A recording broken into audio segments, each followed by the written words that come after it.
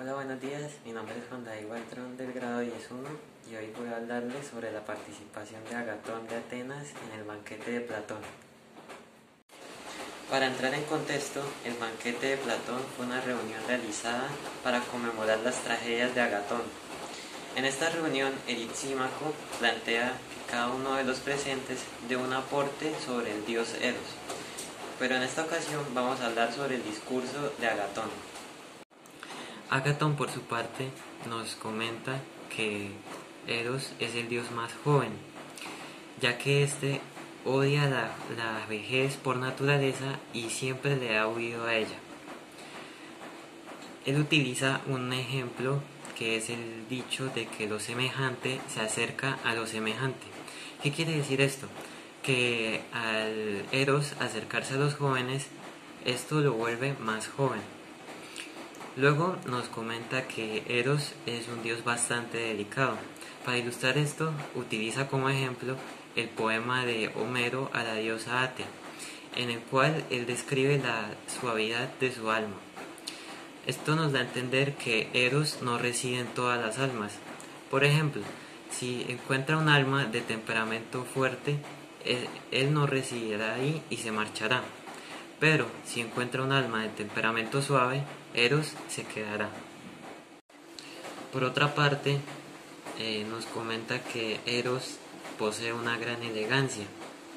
Nos da el ejemplo de dos lugares. El primer lugar es un lugar marchito y poco perfumado. En este lugar, Eros no se quedará. En el segundo lugar, que es un lugar florecido y que está muy bien perfumado, Eros se quedará. ¿Esto que, a qué hace referencia? Esto se refiere a que Eros solamente acepta la belleza y la virtud, o las busca. Luego eh, nos habla de que Eros eh, no comete ninguna injusticia, no puede cometer injusticia ni, contra ningún hombre ni contra ningún otro dios.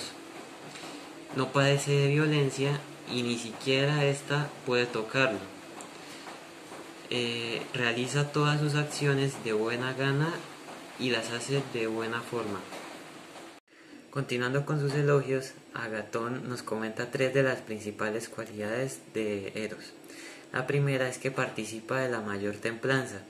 Esto quiere decir que tiene un gran dominio sobre sus placeres y deseos, ya que no existe ningún deseo mayor que él. La segunda es la valentía, que es mayor a la del dios Ares o dios de la guerra, ya que puede realizar cualquier acción gracias al amor. La tercera es la sabiduría, que, que según él tiene el gran alcance de convertir en poeta a cualquier persona, incluso si éste antes era extraño a las musas o a todo lo relacionado con la poesía. Agatón nos dice que gracias al Eros es posible la procreación de toda clase de seres vivos. También nos dice que el Eros es muy importante en la maestría de las artes, ya que sin él las cosas no se realizan de buena forma y no se realizan con pasión, ya que si una persona realiza eh, las artes con Eros, eh, tendrá mucho éxito y un gran futuro.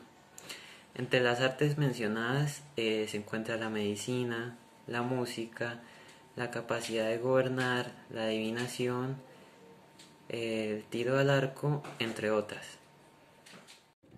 Finalmente, Agatón concluye su discurso diciendo que gracias a Eros es posible que todos estén reunidos para dar sus discursos y que gracias a él es es posible la unión de los presentes. Al concluir esto, Agatón es ovacionado por todos los presentes debido a su gran forma de exaltar al dios Eros y de por haber utilizado un muy buen lenguaje para, para ello. Eh, con esto se da conclusión al discurso de Agatón y se continúa con el discurso de Sócrates. Así que eso sería todo por el discurso de Agatón. Gracias por su atención.